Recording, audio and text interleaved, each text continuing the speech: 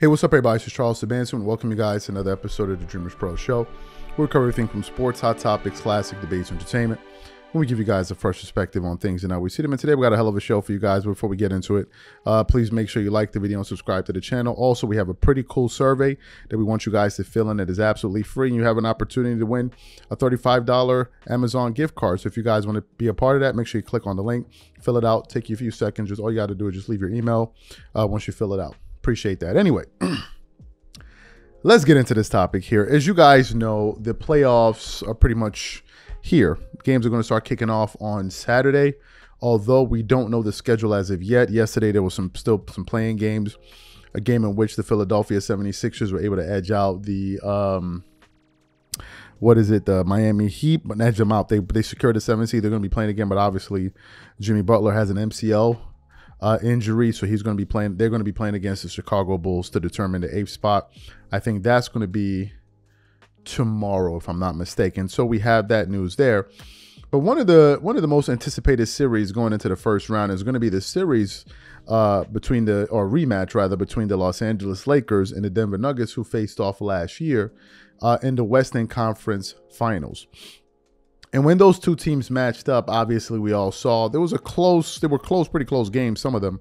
But basically, the Denver Nuggets pretty much just dominated the Lakers in four games and they swept them up out of there. The most impressive game of that, of that entire series to me was game four, where the Denver Nuggets looked like they really, really, really wanted to send home a message. Like they didn't have to play as hard as they did, but they really wanted to send a message that we're on a totally different level uh, and they went in there and totally dominated. So what happened this morning?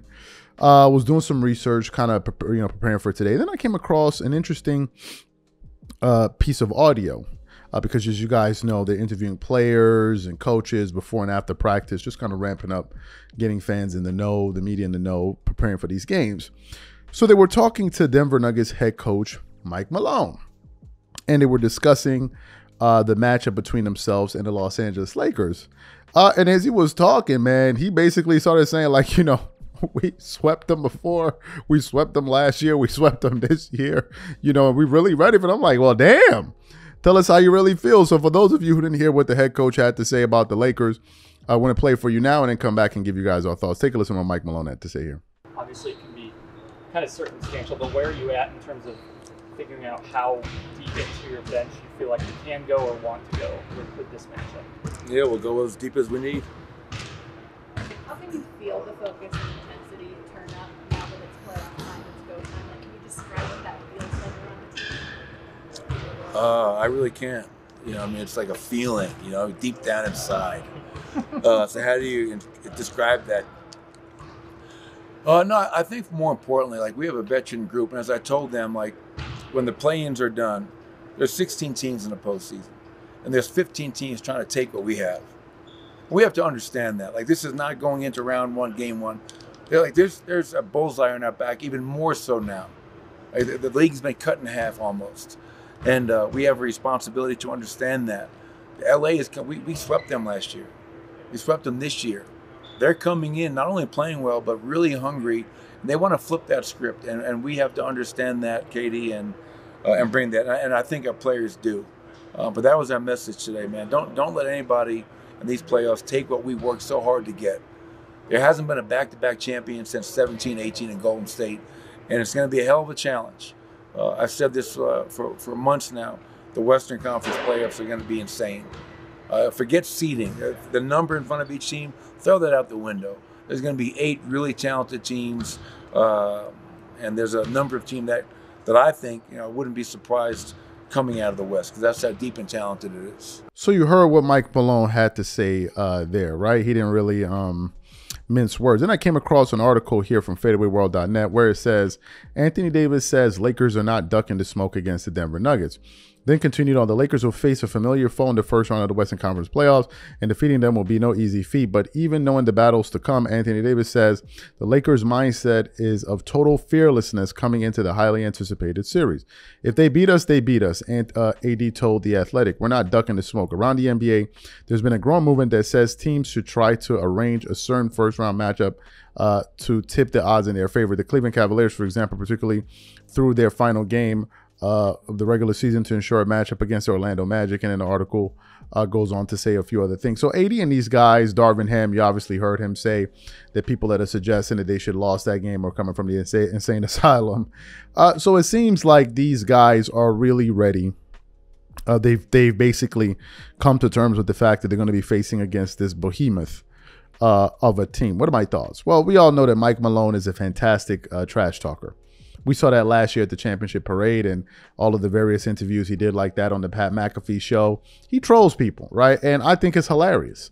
Uh, I think it's hilarious because he's he he gives uh, his team some attitude, right? Because because Nikola Jokic is not that type of person, so he kind of fills in that gap for them. He talks on their behalf. Uh, some people don't like that, but obviously those are people that had sour grapes uh, that they ended up winning the championship. Look, uh, coming into this playoff series, I think um, Mike Malone is going going to need to give his team the edge. Uh, he's going to need to put a battery in their backs to get to understand that hey, listen, uh, we're going to be playing against a potentially dangerous team, so you want to make sure that you're mentally dialed in going into this series. Uh, I made a prediction. My prediction for this series is that I think that the Denver Nuggets are not going to sweep the Lakers. If they sweep the Lakers, I'm going to be floored. Like it'll be crazy.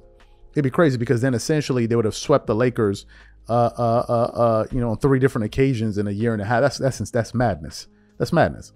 Uh, so I don't think that would happen. I think though, however, that Denver is going to win this series in five games. Here's my breakdown. I think Denver is going to hold court. I think they're going to win their first two games in Denver. Then I think maybe the Lakers are going to probably win game three. And then Denver may steal one game. I don't think the Lakers are good enough to steal a game in Denver, and then Denver will come out come out uh, and close out the series in game five on their home court. If the Lakers drop game three, it's a wrap. They're going to get swept in four games.